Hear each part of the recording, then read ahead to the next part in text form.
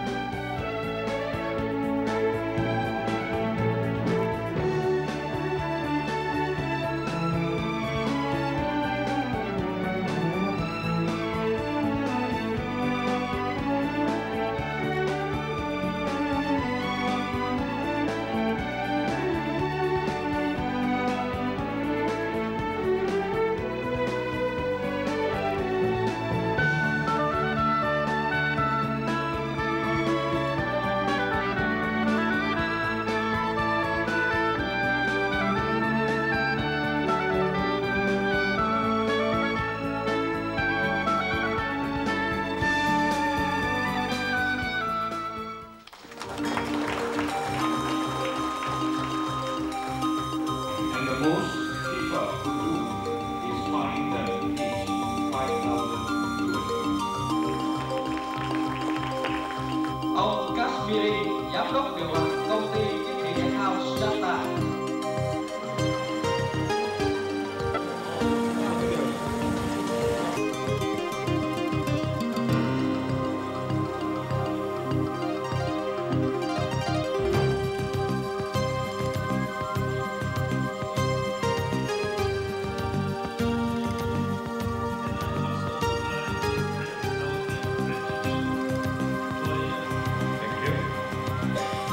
I'd also like to introduce a few more people on the main table. Now on uh, on my right,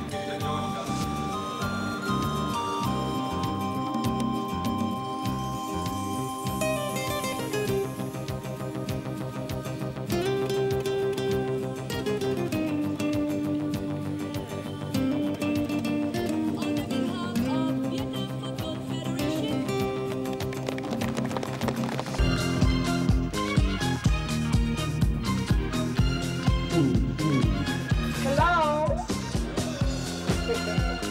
You're out there. Okay, we're going to have a lot of fun tonight.